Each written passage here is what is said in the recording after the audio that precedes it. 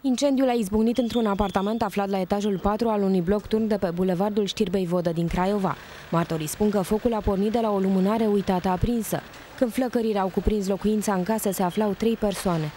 Era în comă de trei zile bătrânul, Nora, adică femeia care o lua salvarea, probabil a dormiră și lumânarea a căzut jos pe o tavă de plastic, lua tava de plastic foc și până să se scoale ei, că-i văzurăți, erau toți uh, afumați, lasă tot apartamentul foc. Am ieșit din apartament și am văzut că e fum pe casa scării. M-am uitat afară pe fereastră, vedeam, am văzut pe cineva că s-a uitat în sus, ieșit să fumul, că e sub mine, eu stau la șase, asta se întâmplă la etajul 4 și până am anunțat pompierii. Pentru stingerea incendiului, pompierii au intervenit cu două auto speciale, iar cele trei persoane din apartament au fost transportate de echipajele SMURT la spital. La fața locului s-a deplasat cu două auto speciale, cu două ambulanțe SMURT.